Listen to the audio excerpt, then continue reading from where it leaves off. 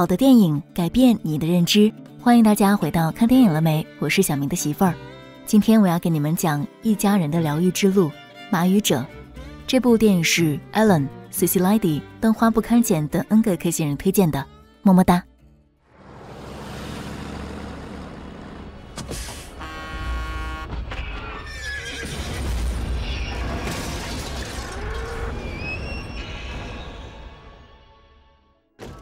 安妮赶到医院时，医生还在给女儿做截肢手术，而与女儿相约骑马的朱棣已经当场去世。安妮脑海一片空白，许是看到丈夫先崩溃了，她又强打精神，总得有人撑住，否则都会被这浪涛卷走。手术很成功，但那场事故留下的阴影却几乎击垮了女儿格雷斯。尽管格雷斯没有任何情绪爆发，但安妮知道那只是格雷斯竭力压抑的结果。在这个孩子身上，有些东西正在流逝。唯一让格雷斯眼神发亮的是听到朝圣者还活着。那匹马是安妮带他去肯塔基买的。在那些没有父母陪伴的日子里，一人一马建立了深厚的友谊。格雷斯知道自己无法再跨上朝圣者的背了，他想让父母把他送回肯塔基。事故后，朝圣者是在桥洞被找到的。人们从没见过马伤得这么严重。脸颊的肉被刮落，动脉被刺穿，胸前马皮耷拉着。为了减轻他的痛苦，兽医建议让他安乐死，但安妮还是决定全力救他。他知道，如果终结了朝圣者，也将终结女儿的下半生。事故烙在心里的伤痕将永远都无法愈合。朝圣者最终被救活，但身上的伤依旧惨不忍睹。狂乱的敌意不减反增，连最熟悉他的格雷斯都被他吓坏了。安妮死死注视着那双布满仇恨和恐惧的眼睛，她害怕今天的画面会纠缠着格雷斯。果不其然，格雷斯回去便提出了结朝圣者。It's not fair to let him suffer. Well, I think that's maybe they should put me down too. What? I'm not much use anymore. 看到朝圣者，就像看到了自己。格雷斯像被抽干了所有意志。这种情况让安妮越发感到窒息。她最近的工作深陷麻烦，一个被她裁掉的编辑在报纸上诬陷她虚报发行量。在职场杀伐征战多年，她早就准备好了回击。可是现在她根本没有时间想这些。一直以来，不论在工作还是生活中，安妮都独当一面。但现在她只能把女儿摆在第一位。她开始查阅有关马的资料，就像冥冥中的感应。他相信朝圣者与女儿息息相关。安妮在书上发现了马语者。据说，自从人类开始猎杀奴役马之后，人与马之间就有了深深的隔膜。后来出现了一些能够看透动物灵魂、抚慰他们心灵的人，这些人就是马语者。安妮发现的那位马语者在蒙大拿州，但对方不想来纽约帮他看马。没事儿，山不来救我，我便去救山。罗伯特不赞成这种不切实际的做法。面对生活突如其来的打击，作为律师的他选择去适应。他相信时间能解决一切，不希望安妮带着受伤的女儿四处奔波。但安妮不这么看，有些问题需要迎难而上去解决，否则只能坐以待毙。他认为格雷斯现在需要的是找回生活的勇气。罗伯特再次屈服在安妮的发号施令上。于是，一个母亲带着女儿和一匹马就这么上路了。他们要穿越大半个美国，去找一个陌生人寻求疗愈。安妮也说不清楚这样做究竟有没有意义。她只知道，如果不去改变，如果不往前走，她会失去女儿。朝圣者在窄小的车厢里暴跳如雷，哀嚎和踹门声阵阵回荡。但对安妮来说，最难忍受的是格雷斯的沉默。一路上，格雷斯多半都在睡觉。或者听随身听，几乎没开口说话。实际上，格雷斯并不像看起来那么反对这趟旅程。他受不了同学看他节制的异样眼光，以及他要在人前做出坚强的样子。他只是反对母亲那一贯的自以为是。比起母亲，格雷斯更亲近父亲。他不明白为什么同是一家人，却只有支配与服从的关系。格雷斯的沉默和一路上空荡荡的景物，让安妮的心凉飕飕的。经过一片墓地时，他站在那儿极目远眺，被风吹得直不起腰的野草从这哀伤的地方伸展到遥远的地平线，他终于哭了出来。但宣泄过后，他又变回了无坚不摧的样子。接着，小小的拖车继续在广袤与空旷中踽踽前行。蒙大拿位于一片广阔的草原之地，在这辽阔中，仿佛一切忧伤都可释放。马语者汤姆怎么也想不到，电话那头说话强势的女人竟然会专程拖着马来此找他。凭着这份勇气和魄力，他怎么也得帮忙看看马。此时，朝圣者身上的伤口已经痊愈。神经的损伤却让他的前腿几乎报废，自出事后根本没人能靠近他。几天的颠簸让他更加暴躁发怒。然而汤姆靠近时，他却破天荒没有竖起防备。汤姆看着伤痕累累的朝圣者，再看看截肢的格雷斯和焦急的安妮，大概明白了什么。但汤姆号称只为马解决人的问题，不为人解决马的问题，所以他需要格雷斯的配合。Look, I'll talk to Excuse me, with all due respect, this is her decision, not yours. I don't want to waste anybody's time here. Mostly mine. 格雷斯同意了。隔天，两马行动开始，格雷斯全程旁观。起初，马儿不是在圈里跑，就是被赶进河道里，这是为了恢复他的腿部力量。朝圣者仍旧是个易怒的家伙，有次被安妮的电话铃声惊到，瞬间失控暴走，一头扎进草场。汤姆没有追，而是远远蹲在一旁，静静等他，直到他乖巧地夺回他的跟前。From now on, leave your phone somewhere else. 汤姆长期跟弟弟一家住一起，他们都是蒙大拿典型的牧民。被邀请共进晚饭时，安妮和格雷斯都很高兴。安妮有时会把城里那一套带到饭桌上，这一家子也没介意。一贯少言的汤姆还会用玩笑化解。一次镇上举行烙印仪式，安妮母女也跟着去了。身处闹哄哄的人群中，安妮有点后悔，她担心格雷斯会因为行动不便而自卑。汤姆仿佛看穿了她的担忧。他把格雷斯带到最前线，手把手教他操纵烙铁。安妮的担心是多余的，格雷斯很喜欢这里，他的刺渐渐少了，也不再掩饰对朝圣者的关心。后来汤姆建议他去马房干点力所能及的活儿，他也欣然答应了。为了方便疗马，他们搬进了汤姆家空置的木屋。安妮一边做好奋战到底的准备，一边远程办公。尽管老板说离开多久都随意，但他可不是幻想派。有时汤姆也挺佩服这个坐下来就翘着二郎腿不停抖的女人，她每天该忍受多少从城市带来的焦虑和忙碌？这时安妮会莞尔一笑，回答他：“这是男人的世界，女人必须这样。生活就是残酷的，停不下来，停下来就输了。”反倒是他不能理解为什么汤姆可以忍受一直待在这里，难道就不想体验城市生活吗？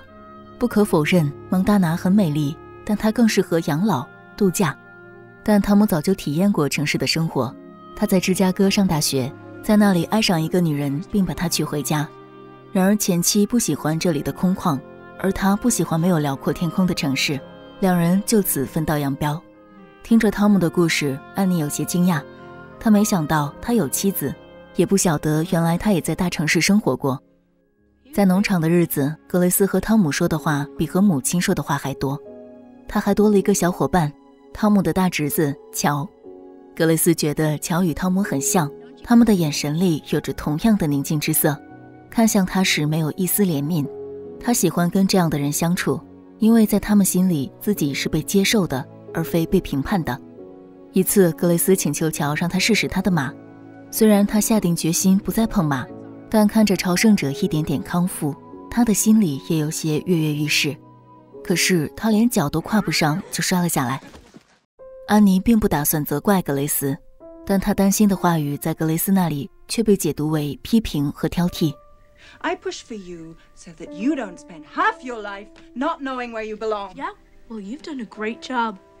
再次碰壁，但安妮转身离开时，格雷斯开始掩面哭泣。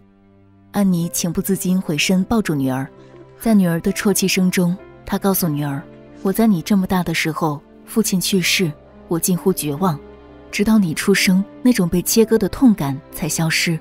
而格雷斯则哭着说，她很担心自己不能成为母亲的完美女儿。I used to pray every night that you and Dad would have another kid.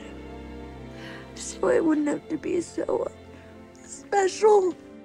这一刻，母女俩心里的冰凌都消融了。隔天，格雷斯在汤姆面前提起了那天的事故。他说：“他恨不得自己那天和朱棣一同死在大雪里，那是他最好的朋友。”当时，朱棣先从马上摔下来，脚还卡在脚凳上，他的马已经完全失去控制，拖着朱棣从山坡到公路。格雷斯立马骑着朝圣者下去，他想救朱棣，但是怎么也够不着。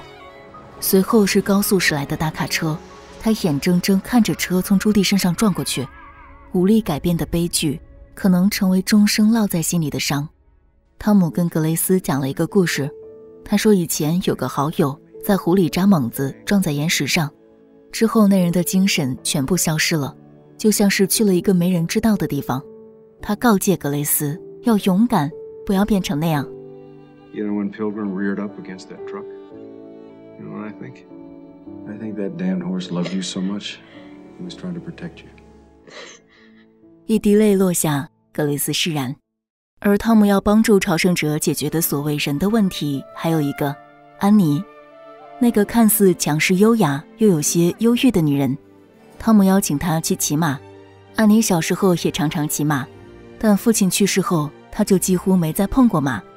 时隔多年，再一次手握缰绳，骑着马儿在草原上奔跑，一种久违的松快感油然而生。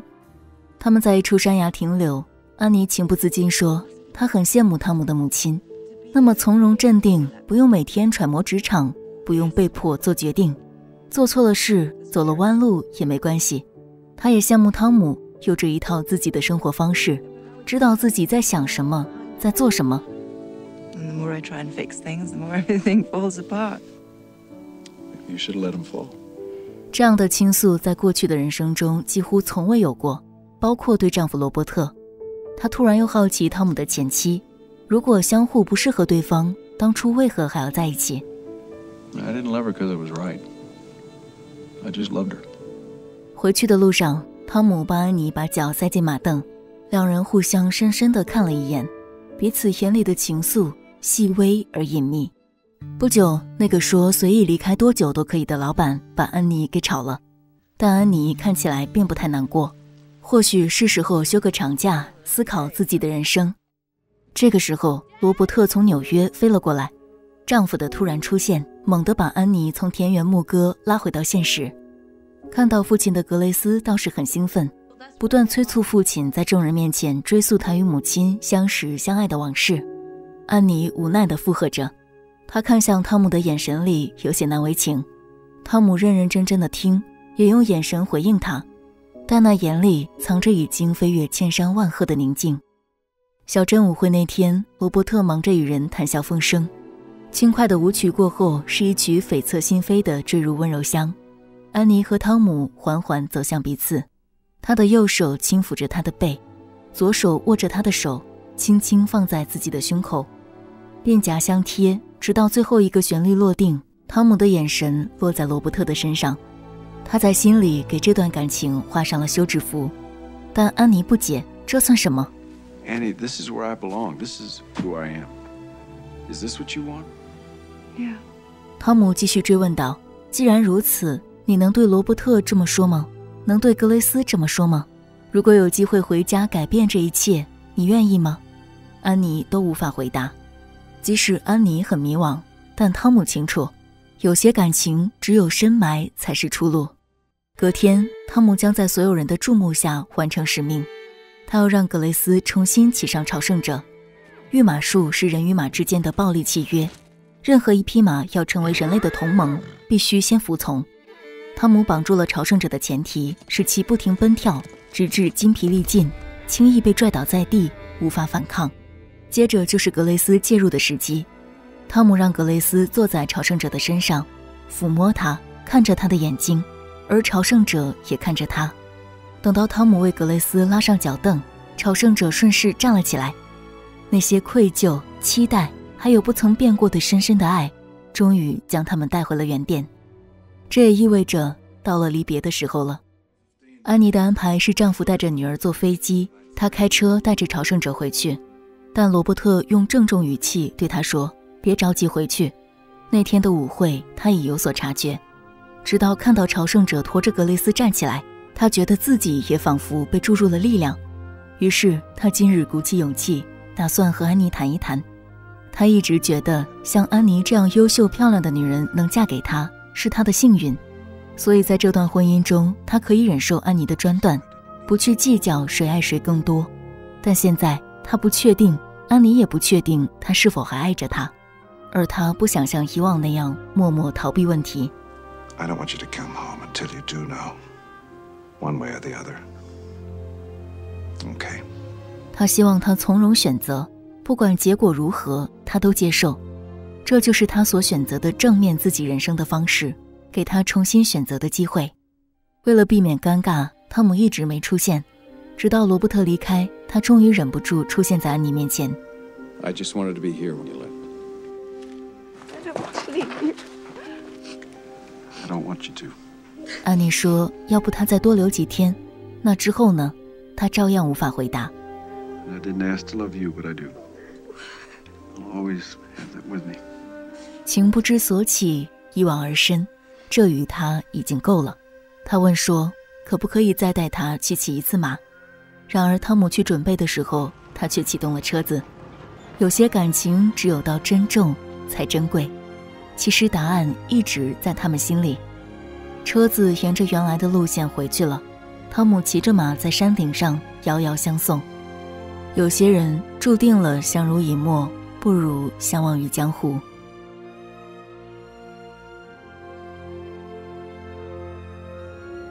好了，我是小明的媳妇儿，新年礼物给您想好了。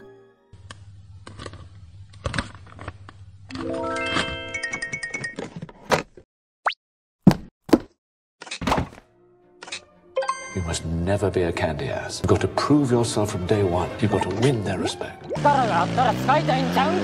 我見我唔俾你揾我笨，你又唔揾我。Wenn dir etwas Freude macht im Leben, dann musst du es einfach tun.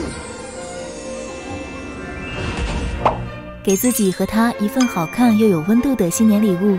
喜欢的 K 星人，请点击视频下方链接或微信搜索 “K 星人的店”，把台词周丽带回家。